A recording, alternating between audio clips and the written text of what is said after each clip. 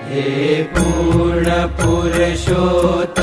प्रभु पर ब्रह्म जय सर्वोपरि। सुखकन्द सहजानन्द जी कमनीय मूर्ति माधुरी। छो विमल अमृत धाम वासी सौख्य राशि श्रीहरि हे भक्त जन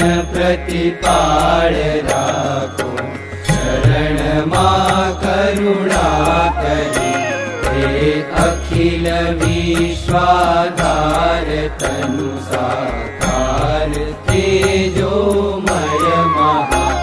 अगणित ब्रह्माण्डो उडे तव काम अक्षर मा अहा छे सकल विभूति दिव्य शक्ति। आप माथी उतरी हे भक्त जन प्रतिपाळ राखो। शरण मा करुणा करी अवतार विशेष। धर्मनी ज्ञानी समे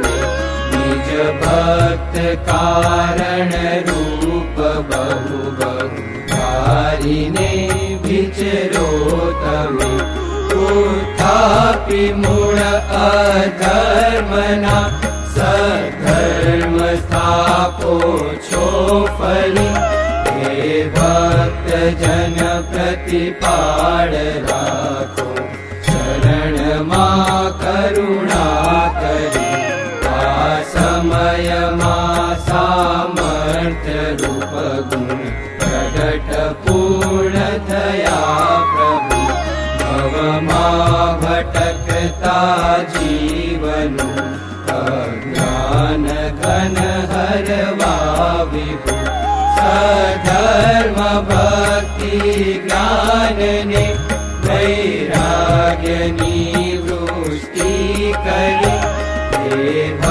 जन प्रतिपाण राखो शरण मा करुणा कली राखो शरण मा करुणा कली राखो शरण मा करुणा